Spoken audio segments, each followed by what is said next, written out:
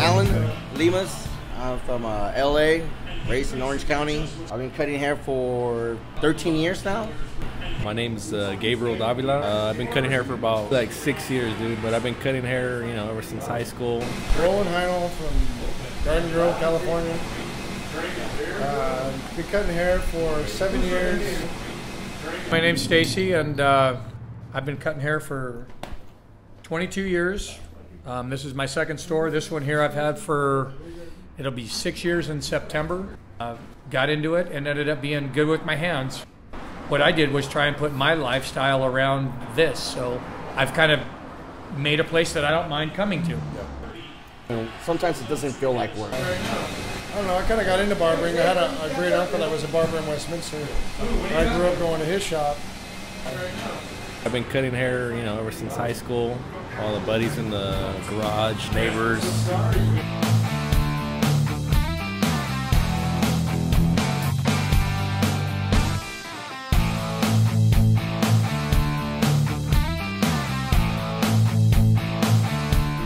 And I got into it because there was nothing else I could do out there. I was really good with my hands, and I was never a school guy.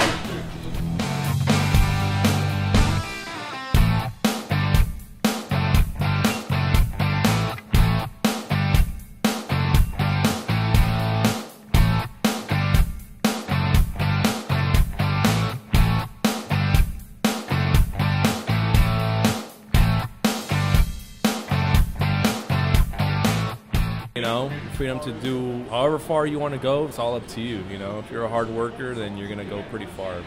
The independence, yeah, probably. I don't have someone breathing down my neck all day. Yeah. Kind of work and not my leisure, but you know, take my breaks when I want, take my time on the different cuts I need to, move through other cuts, you know, faster, right, easy.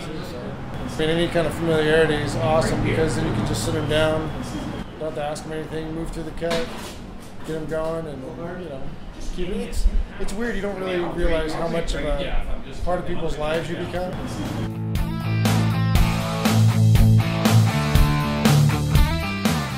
even though the wait, when they get their turn, they're going to get the same time that the other guy got, and it's not a gamble. You're gonna get the haircut.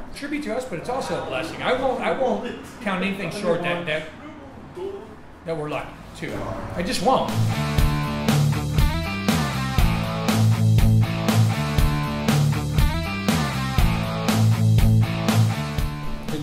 Say, you don't realize how much of someone's life you become. Not necessarily they become part of your life like that because you see so many people on the average.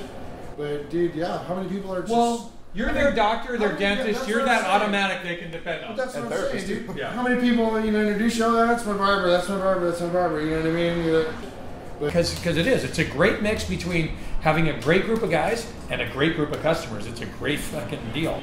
Uh, you know what? I don't think I could ask for anything more because guys that we work with right here, it works out, dude. You know, it's awesome. So we got great, great chemistry right here. Yeah, it's fun treating people good.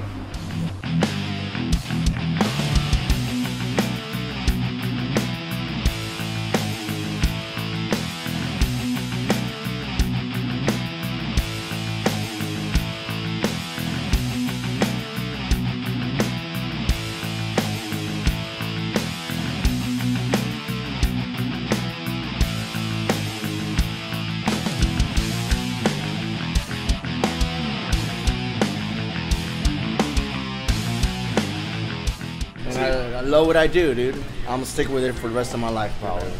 Unless I win the lotto or something.